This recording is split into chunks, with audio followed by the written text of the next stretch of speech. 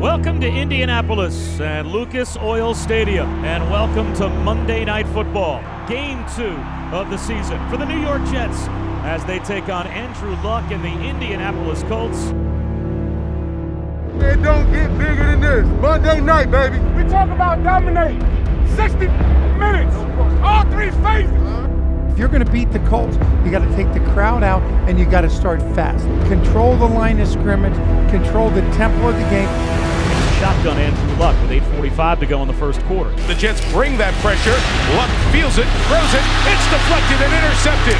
Calvin Pryor's got it, runs left to the 30. He's at the 20, inside the 10 yard line, gets to the 9 first and goal Jets on the first career interception for Calvin Pryor.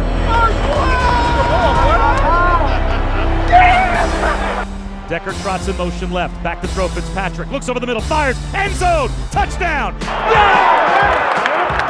That's what I'm talking about. Yeah.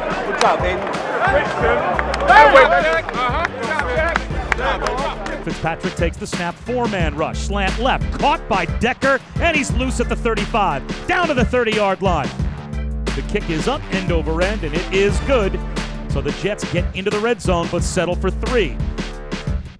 Third down and 10 for the Colts at their own 34. Luck in the shotgun. Jets again show blitz. Luck climbs the pocket, looking to take off. Not going to get there. Fumble. The football picked up by Revis. And the Jets will have it. That is another turnover for Luck and the Colts. 48 yards away to add to the Jet lead. The snap, the placement, the kick is on the way. End over end, it's got the distance, and it is no good. And the Jets will have to settle for a 10 0 lead at halftime. Third and goal inside the one. Luck takes the snap, gives to Gore, bounces it outside left, lost the football. Gore fumble the football. It's loose, still loose, and the Jets have it. How many you gonna get? How many they gonna give? Exactly. The ball just came out. Three or two games? Five man rush again. Back to throw. Luck under some pressure. Looks right. Throws right. And it's intercepted. And Revis has another turnover. That's my guy. A little bit more. No, Ow! Ow! Time there no better than coming at the great one. Drops back under some pressure. Throws it over the middle. Wide open. Moncrief has it. Up the middle of the field. At the 15. At the 10. 5. Leaps. End zone. Touchdown. And it took over three quarters for the Colts to get on the board. Give these Colts credit for hanging in there. To throw Fitzpatrick.